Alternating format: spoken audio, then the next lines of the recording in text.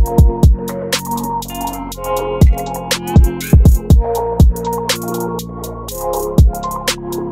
here at the 2018 Geneva Motor Show with Cupra. Now what an exciting time for the brand. They've just launched and it's kind of like the older, cooler brother to Seat. I've been really excited to bring you the exclusive on this because, you know, Seat for me is not a brand that I've had a lot to do with, but Cupra is definitely making waves. It's more fashion, it's more lifestyle, the, the cars themselves are absolutely brilliant. So we're going to head upstairs. I have a chat with Luca De Meo, who is the president of the Cupra and Seat brand, and then I'm going to take you around and show you exactly what they've been up to. Because I tell you what, I'm really impressed. I mean, the idea of Cupra is to create some kind of elite unit uh, built around the motorsport division of Seat, which has a you know long tradition. Uh, to do stuff uh, that is actually cooler than we normally do is the idea. And uh, I think uh, uh, let's say in the market you, you have people that you know that better than me that want to have some kind of special things right? So they want the unique products. So we are going to do uh, versions of um, Seat cars into limited editions and that they are, they are from a performance point of view, from a styling point of view, uh, from a possibility of individualization point of view, completely different from the thing we normally do. Is is a little bit like I don't know. You get out of the plant and you get back to the garage. That's the idea.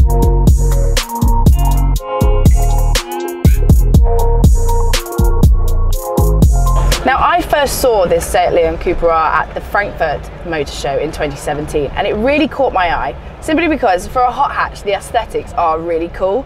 And it's incorporated this beautiful charcoal color with the bronze everywhere, down to the carbon weave that they've put on various different areas of the car.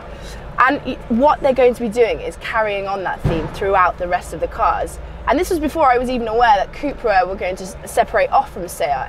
So it shows that what they were doing was completely different for back then.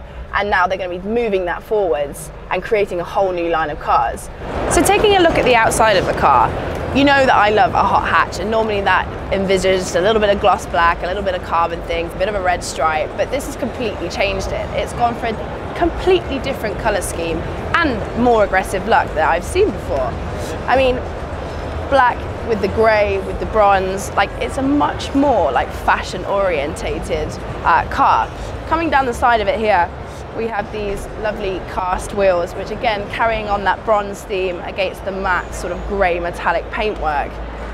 Honestly, like it's not too much going on here. Sometimes you can have a bit of an overload with carbon wings, carbon bits, and they're not even normally real carbon, but this is all real carbon. The main thing that we have to remember here is, although this is the 310 brake model, what they're really looking at is how this thing looks. Um, you know, it's been really well thought out, everything down from, you know, the branding to how the badge sits, to the paintwork, to absolutely everything incorporated inside the car as well aesthetically it's a beautiful car. And just I haven't seen something where I've been like yeah that's actually really cool. But not because it's from a motorsport performance perspective. I think one of my friends you know my friends that work in fashion they would even look at it and go yeah that is actually really cool. And this is a completely new direction for a brand. I haven't seen some, someone do this before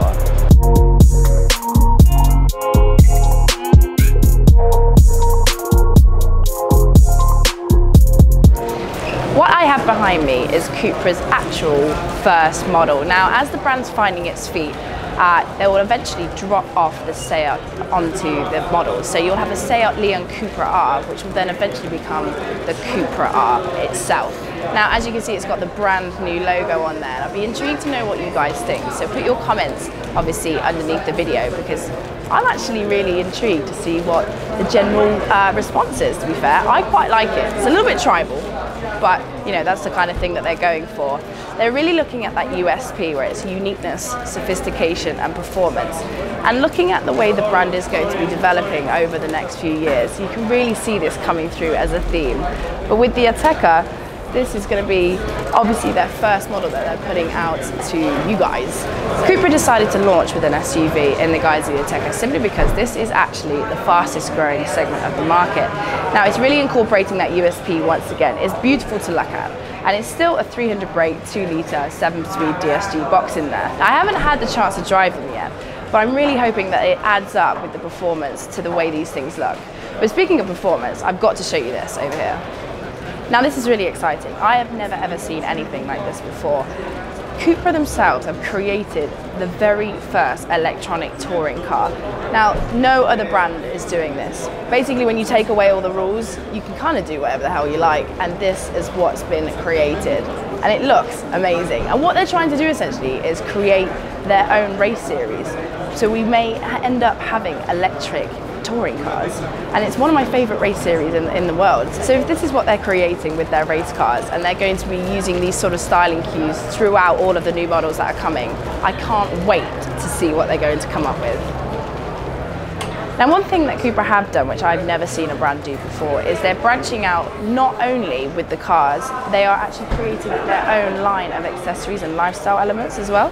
So we have the sunglasses range here, which is using like a, a really niche Italian brand, which, you know, are completely focused on that uniqueness. Again, we had a little chat with them when I was out in Barcelona for the launch. And we also have, you know, a fully carbon bike here as well. It's just amazing what they're trying to do. They're trying to incorporate not only just a car into the brand, but an entire like lifestyle essentially. You can dress the brand, wear the brand, ride the brand, drive the brand. And you know what? No other company has come up with a 360 approach like this for a launch. In well, I mean, I don't know any, anyone else doing it. Do you?